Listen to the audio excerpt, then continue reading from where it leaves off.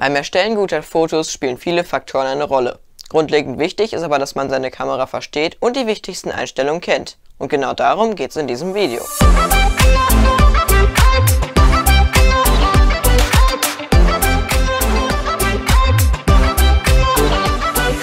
Hallo und herzlich willkommen zum ersten Teil Fotografieren lernen auf diesem Kanal. In Zukunft wird es auch noch um weitere Themen, zum Beispiel Fotobearbeitung, die richtige Kamera oder wie man richtig gute Fotos schießt gehen. Heute werde ich wie gesagt die grundlegendsten Kameraeinstellungen vorstellen, die es auch fast bei jeder Kamera gibt. Ich werde sie jetzt aber erstmal am Beispiel der Sony Alpha 6000 zeigen, aber die sind so grundlegend, ihr werdet die auch auf andere Kameras übertragen können. Dabei werde ich erklären, wofür diese Einstellungen gut sind.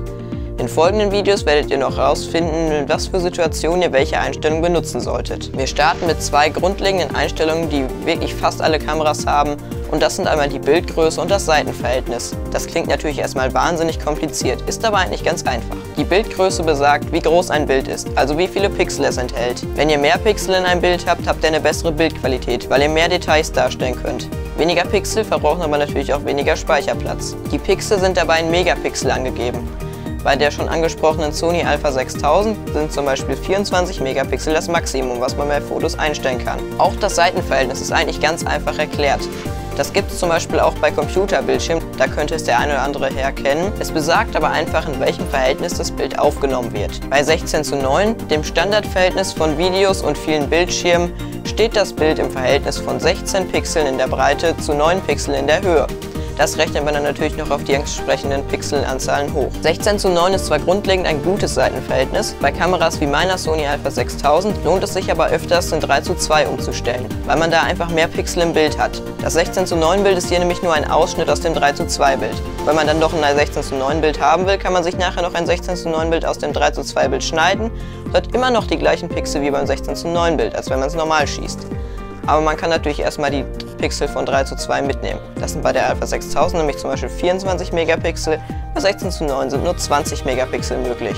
Weiter geht es mit der Bildqualität. Das ist eigentlich ein schnell erklärtes Thema. Die Bildqualität zeigt an, in welcher Qualität das Bild aufgenommen wird. Bei einer höheren Bildqualität hat man im Nachhinein noch mehr Möglichkeiten bei der Bearbeitung und man hat generell ein besseres Bild. Zwei bekannte Bildqualitäten oder auch Formate, in denen das Bild quasi gespeichert wird, sind JPEG und RAW. JPEG ist die Standardbildqualität bei vielen Kameras und wird auch sehr oft benutzt. Da macht ihr nicht nichts falsch, ihr könnt es gut angucken, es verbraucht nicht ganz so viel Speicherplatz, weil es einen recht schlauen Codec hat und ja, ihr bekommt auch ein gutes Bild raus. Wenn ihr mehr professionell arbeiten wollt, dann ist RAW auch was für euch. Dabei habt ihr nämlich mehr Spielraum bei der Bearbeitung im Nachhinein.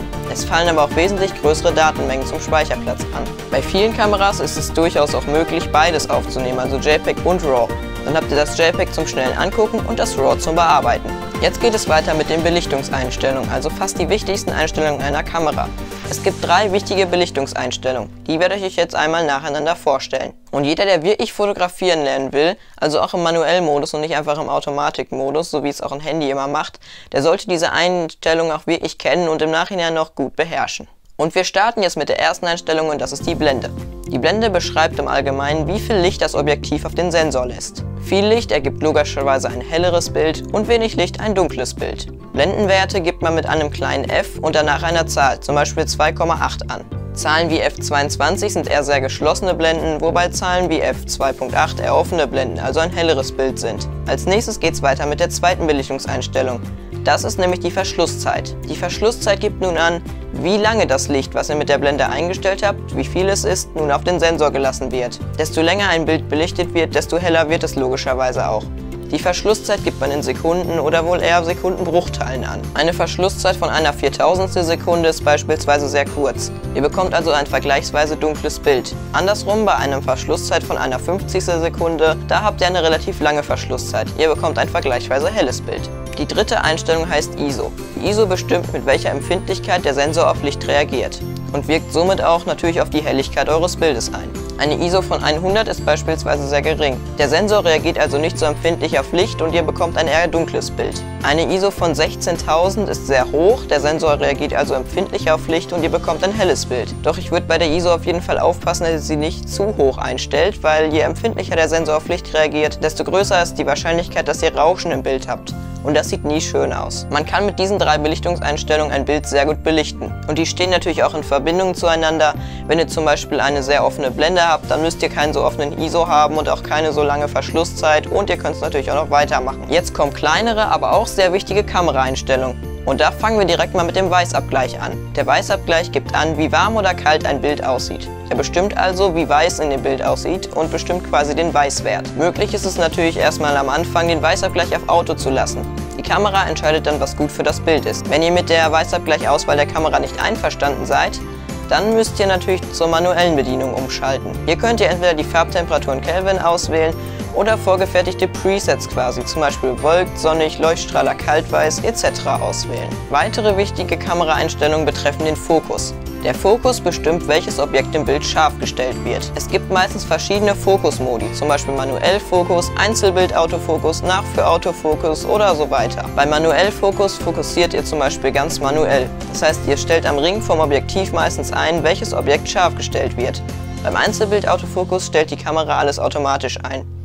Ihr könnt dann durch einfaches Drücken vom Auslöseknopf den Fokus setzen. Beim Nachführautofokus könnt ihr mit dem gedrückten Knopf beim Auslöser quasi einen Fokus setzen und könnt die Kamera dann zur Seite bewegen. Das Objekt wird trotzdem noch im Fokus bleiben. Aber das sind jetzt auch nur ein paar Beispiele, es gibt dann noch wesentlich mehr Fokusmodi. Darüber hinaus kann man noch das Fokusfeld für den Autofokus wählen, also in welchem Bereich der Fokus gesetzt wird.